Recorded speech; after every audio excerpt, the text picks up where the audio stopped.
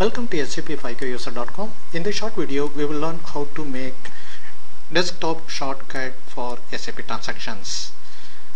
Enter user ID password.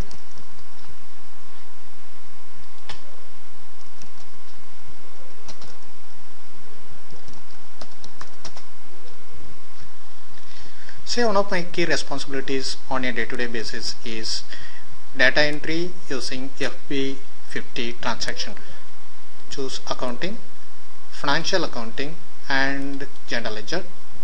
Postings, finally FB50 enter G/L account document. Enter, enter company code. This is the data entry screen which I want to use on a day-to-day -day basis and for which I want to create a desktop shortcut. Choose this icon to generate a shortcut. Click it. Here you can accept all of the default settings. One word of caution about the password.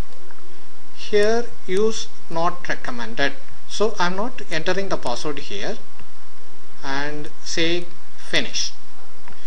The system says your shortcut is ready. Say OK. Let me exit from this screen. Also log off. Close this window also. Now I have the icon ready created over here. Pull it to the center of the screen. Double click it.